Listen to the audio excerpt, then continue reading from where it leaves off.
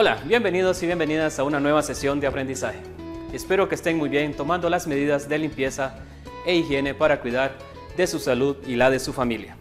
Y por supuesto quedándose en casa. Soy el docente Byron Corea, laboro en la Escuela Miguel Paparabona del municipio de San José de Copán. En esta ocasión conoceremos un nuevo tema como es artesanos y artesanas de Honduras.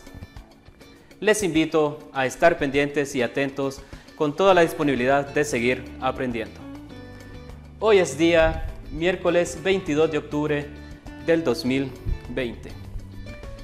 El tema Artesanos y Artesanas de Honduras del área de Ciencias Sociales de tercer grado. Para comenzar con el tema, vamos a leer un, un significado. ¿Qué significa ANAB? ANAB es la Asociación Nacional de Artesanos de Honduras. Es una asociación donde están integrados todos los artesanos de Honduras. ¿Qué son los artesanos? Son las personas que elaboran objetos con sus manos utilizando materiales como barro, madera y tela. Estos artesanos tienen habilidades de crear cualquier producto con sus propias manos y con sus propias herramientas. Buscamos el concepto y dice, persona que ejercita un arte u oficio meramente mecánico. Modernamente para referirse a quien hace por su cuenta objetos. Un artesano es aquella persona que con sus manos y con sus habilidades es la que crea objetos, es la que crea productos para poder venderlos. Vamos con el valor cultural. Representa un conjunto de creencias, lenguas, costumbres, tradiciones y relaciones que identifican a una sociedad o grupo de personas. Cuando hablamos de artesanos, estamos hablando de un grupo de personas con habilidades maravillosas, ya que con sus manos pueden crear cualquier objeto. Por ejemplo, tenemos a un carpintero que puede crear cualquier objeto o producto de madera para que usted lo pueda utilizar en su casa. Tenemos el alfarero. Entonces son personas que con sus manos crean y tienen esa habilidad para crear cosas muy bonitas. Seguimos con el concepto de lo que es el artesano. Es la persona que realiza objetos artesanales o artesanías.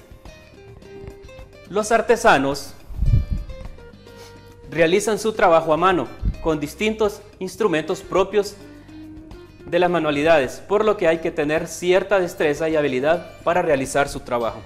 Los artesanos con sus manos elaboran productos muy buenos y cada producto aunque sea igual, no le queda una copia del anterior, ya que cada diseño y cada objeto es único, ya que lo elaboran con sus manos. Vamos a leer un pensamiento.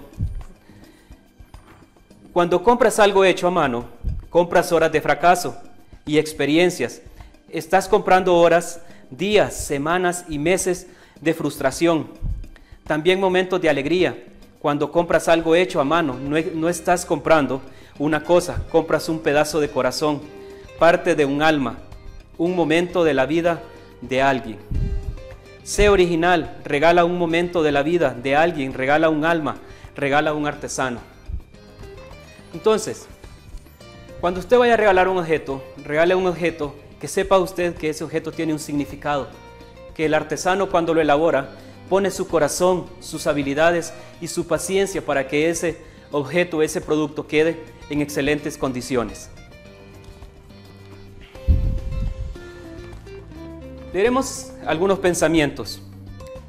El objetivo del arte no es representar la apariencia externa de las cosas, sino su, su, significado interior. El que trabaja con sus manos es un trabajador manual. El que lo hace con sus manos y hace cabeza es un artesano, pero el que trabaja con las manos, cabeza y corazón es un artista.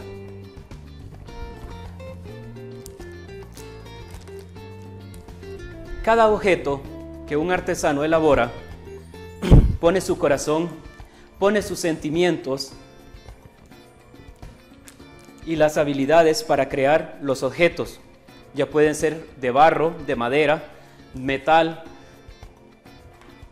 o cualquier otra materia prima. ¿Por qué el producto que elaboran los artesanos es único? Por supuesto, el producto creado es único. Esto significa que el producto que un artesano elabora tiene rasgos distintos y muy diferentes a los demás productos que se ofrecen en el mercado.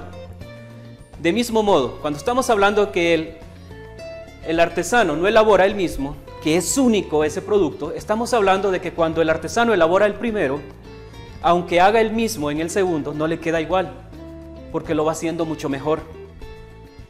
Y así sucesivamente, por eso no es único. Aunque sean iguales, cada artesanía es única, porque va mejorando el producto y van poniendo cada sentimiento de un artesano.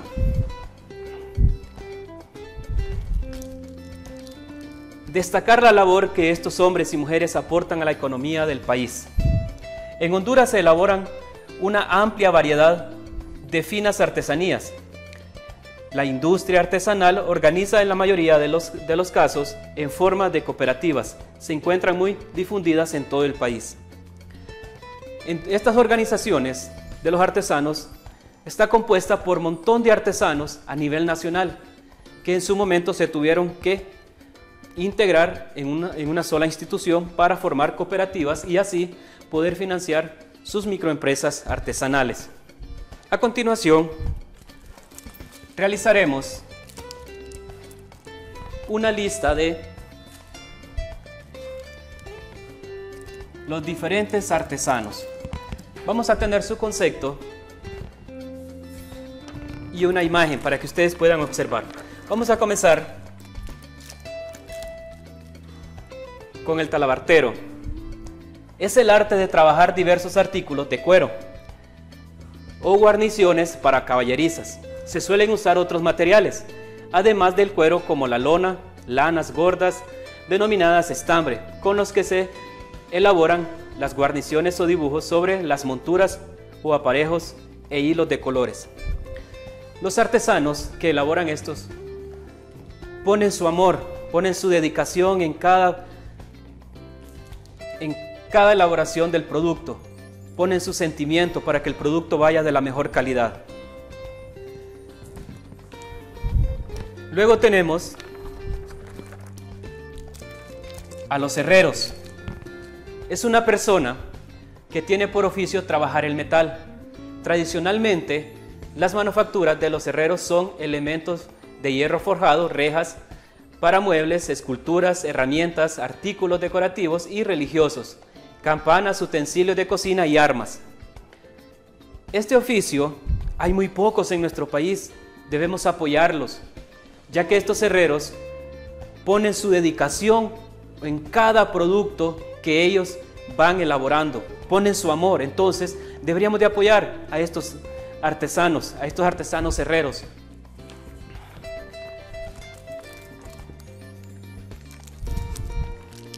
Vamos con los ebanistas. Es el profesional que realiza muebles de madera barnizada en contraposición del carpintero, que es el profesional que trabaja la madera en sus diferentes variedades. Por ejemplo, un carpintero de ribera que construye embarcaciones o el carpintero de armas que construye estructuras de madera.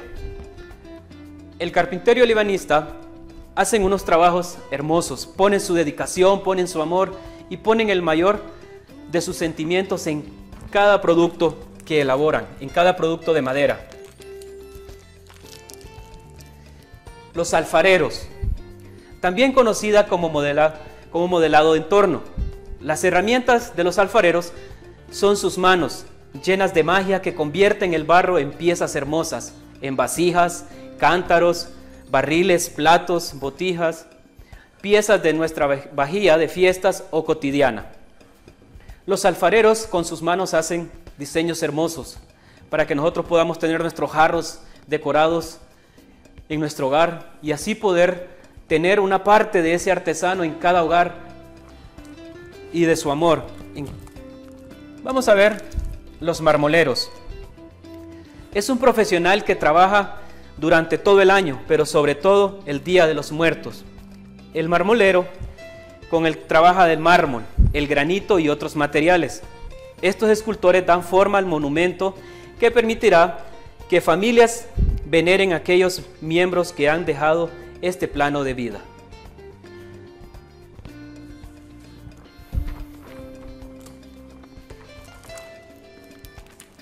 Tenemos el siguiente, los sombrereros. Personas que tienen por oficio fabricar sombreros. Son aquellas personas que se han dedicado durante años a aprender, a poner amor, a ponerle sentimiento en cada sombrero que pueden elaborar con sus manos. A hacerlo de la mejor manera para que el producto vaya de calidad y que usted lo pueda tener.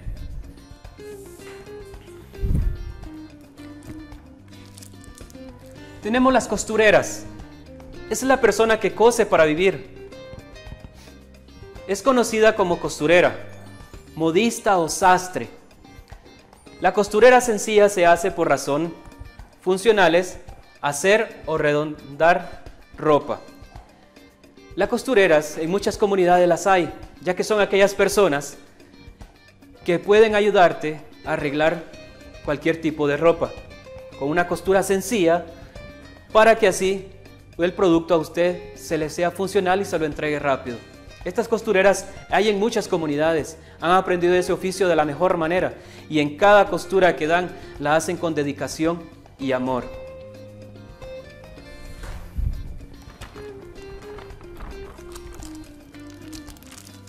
Por último, tenemos a los tejedoras, personas que tienen por oficio tejer. Son aquellas personas que elaboran sus telas, sus propias telas hermosas, coloridas.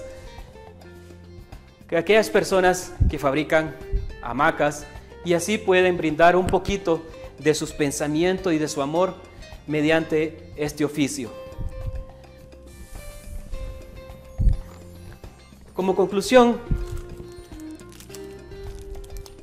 de la clase, la industria artesanal sería aquella que elaborara productos seriados de edición limitada y que incorpora a los procesos manuales que le caracterizan como artesanal. Tecnologías modernas técnicas productivas. Es muy importante consumir y comprar producto que los artesanos hacen con amor. Eso es muy importante, ya que tanto como el talabartero, como el herrero, como el ebanista, como el alfarero, son esas personas que dan su amor y su sentimiento en cada objeto que realizan. Es muy importante poder ayudarles.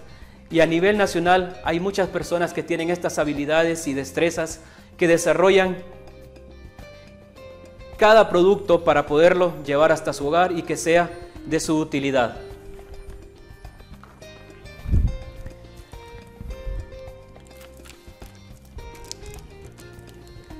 Como tarea, vamos a comentar con sus padres qué son los artesanos y las artesanas. La primera pregunta.